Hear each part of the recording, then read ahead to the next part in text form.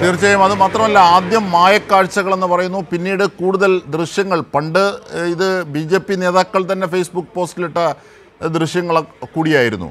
അതൊക്കെ വീണ്ടും ചർച്ചയാകുന്ന ഒരു ഘട്ടത്തിൽ ഒടുവിൽ സുരേഷ് ഗോപിക്ക് സമ്മതിക്കേണ്ടി വന്നു. താൻ ആംബുലൻസിലെത്തി. ആദ്യം എത്തിയത് കാറിലാണ് അതിനുശേഷം ആംബുലൻസിലെത്തിയതാണ്. അത് നടക്കാനാകാത്തതുകൊണ്ടാണ് ആംബുലൻസ് ഉപയോഗിച്ചത്. അങ്ങനെ ആംബുലൻസിൽ നടക്കാനാകാതെ അവിടേക്ക് എത്തേണ്ട അനിവാര്യത എന്തായിരുന്നു? പൂരം കലക്കാനുള്ള ശ്രമം ഒരുപക്ഷെ തെളിവുകളോടുകൂടി പുറത്തെത്തുന്നൊരു സാഹചര്യത്തിൽ കൂടിയാണ്. ബി ജെ പിയുടെ റോൾ വ്യക്തമാകുന്നൊരു സാഹചര്യത്തിൽ കൂടിയാണ് ഈ ആംബുലൻസിലെ എടുത്തി ആംബുലൻസിലെ യാത്രയ്ക്കെതിരെ എടുത്തിരിക്കുന്ന കേസ് കൂടുതൽ പ്രസക്തമാകുന്നത്. അതിന് അങ്ങനെ കൂടി ഒരു ആംഗിളുണ്ട്.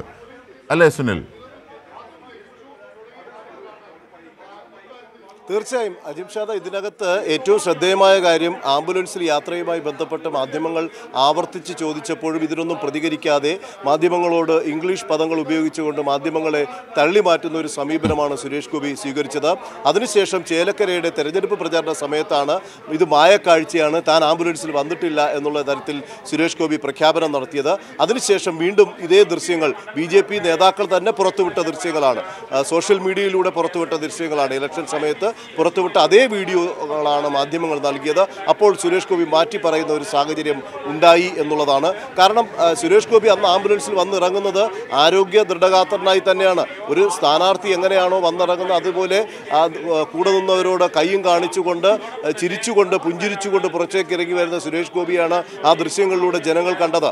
അപ്പോൾ ആംബുലൻസിൽ കൊണ്ടുവരുന്ന ഒരാൾ എങ്ങനെയായിരിക്കണം? ഒന്നുകിൽ അത് രോഗിയായിരിക്കണം അല്ലെങ്കിൽ അത് അത്യാസന നിലയിലുള്ള ഏതെങ്കിലും തരത്തിലുള്ള അത്യാഹിതം ഉണ്ടായി കൊണ്ടുപോകുന്ന ഒരാളായിരിക്കണം. അല്ലെങ്കിൽ കിടക്കുന്ന ഒരു രോഗിയെ ട്രാൻസ്പോർട്ടേഷൻ നടത്തുന്നതിന്റെ ഭാഗമായി ആംബുലൻസിൽ കൊണ്ടുപോകാം. ഇല്ലെങ്കിൽ മൃതദേഹം കൊണ്ടുപോകാം. ഈ ഒരു കാറ്റഗറിയിലും പെടാതെ ഒരു യാത്രയ്ക്ക് വേണ്ടി അതും ഇലക്ഷനുമായി ബന്ധപ്പെട്ട് ഒരു ഇഷ്യൂ നടക്കുന്ന സ്ഥലത്തേക്ക് ആംബുലൻസിന് മാത്രമേ സഞ്ചാരപാത ഒതുക്കിയിട്ടുള്ളൂ പോ പോലീസ്. അപ്പോൾ അതിനെ ദുരുപയോഗം ചെയ്തിട്ടുള്ള രീതിയാണ് സുരേഷ് ഗോപിയുടെ ഭാഗത്തു നിന്നുണ്ടായിട്ടുള്ളത് ആ രീതി ആണ് സുരേഷ് ഗോപി നടത്തിയത്. അതിനെതിരെ ഒരു ബി നേതാക്കളും അതിനെതിരെ പ്രതികരിച്ചില്ല എന്നുള്ളതാണ് നാം കണ്ടത്. പക്ഷേ ഇപ്പോൾ പോലീസ് ഇക്കാര്യത്തിൽ കേസെടുത്തിരിക്കുന്നു എന്നുള്ളതാണ്. കാരണം അന്ന് ഇക്കാര്യങ്ങൾ ചോദ്യം ചെയ്ത മാധ്യമപ്രവർത്തകരെ നേരെ കയർക്കുകയും മാധ്യമപ്രവർത്തകർ തന്റെ സഞ്ചാര സ്വാതന്ത്ര്യത്തെ തടസ്സപ്പെടുത്തിയെന്നും തന്നെ തടഞ്ഞു നിർത്തിയെന്നും പറഞ്ഞ് കേസ് കൊടുത്ത സുരേഷ് ഗോപിയാണ് നമ്മൾ കണ്ടത്.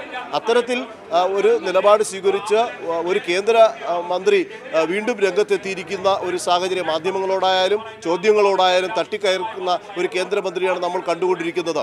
പുതിയ വെളിപ്പെടുത്തൽ വീണ്ടും അദ്ദേഹം നടത്തിയിട്ടുണ്ട്. ഗുണ്ടകൾ ആക്രമിച്ചു എന്നുള്ളത്. അത് ഇന്നലെ വി എസ് സുനിൽകുമാർ തന്നെ പറഞ്ഞു അങ്ങനെ ആക്രമിച്ചെങ്കിൽ എന്തുകൊണ്ട് കേസ് കൊടുത്തില്ല? എന്നുള്ളത്.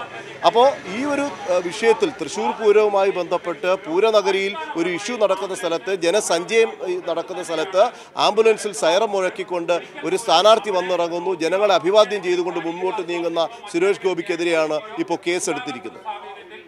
തീർച്ചയായും. സുരേഷ് ഗോപിക്കെതിരെ ആംബുലൻസ് യാത്രയിൽ കേസെടുത്തിരിക്കുന്നു. നിയമവിരുദ്ധമാണ് യാത്ര എന്നതിന്റെ മോട്ടോർ വാഹന നിയമപ്രകാരമാണ് ഇപ്പോൾ കേസെടുത്തിരിക്കുന്നത്.